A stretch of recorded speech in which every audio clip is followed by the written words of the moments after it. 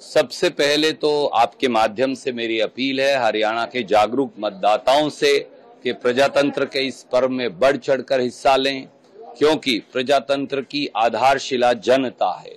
जब जनता वोट करती है तो प्रजातंत्र मज़बूत होगा, ज़्यादा से ज़्यादा संख्या में बाहर आए, एक वोट भी घर पर ना रहे, ये सुनिश्चित करें।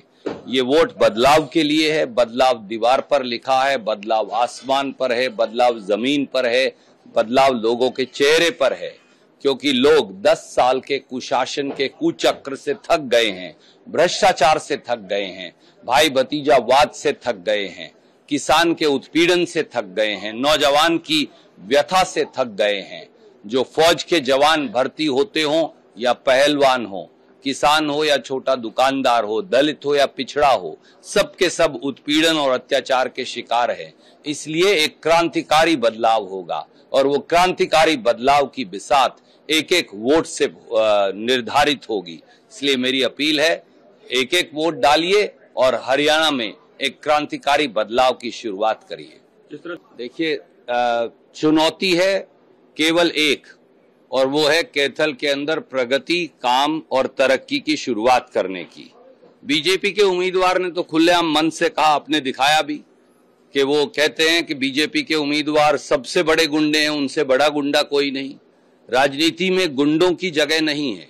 राजनीति को शराफत चाहिए, भाईचारा चाहिए, प्रेम चाहिए, ईमानदारी चाहिए, काम, तरक्की और विकास चाहिए।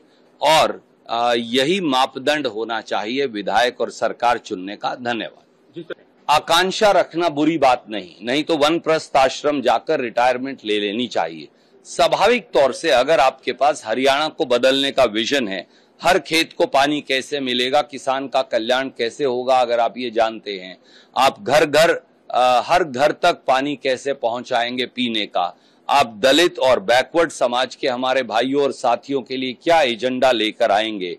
आप समाज के हर वर्ग जो उत्पीड़ित है, जो अपने आप को अलग थलग महसूस करता, उसे बाहर कैसे लेकर आएँगे और मुख्य धारा में कैसे जोड़ेंगे?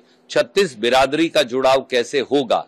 ये सब और प्रदेश में नई क्रांति का औद्योगिक क्रांति, नौकरियों की क्रांति, भाईचारे की क्रांति भल मानसियत की क्रांति और उसके साथ साथ प्रगति और विकास की क्रांति। ये सब कैसे होगा? तो स्वाभाविक तौर से आपको आगे बढ़ना है और आपको ये आकांक्षा रखनी है कि आप प्रांत को चला सके। पर व्यक्तिगत आकांक्षा, पार्टी के अनुशासन से बड़ी नहीं। आखिर में जो राहुल गांधी जी फैसला करेंगे और खड़गे साहब फैसला करेंगे, वो सबको सर्वमान्य होगा। मैं सब नेताओं की तरफ़ से आपको ये कह सकता हूँ, जिम्मेवारी से। धन्यवाद।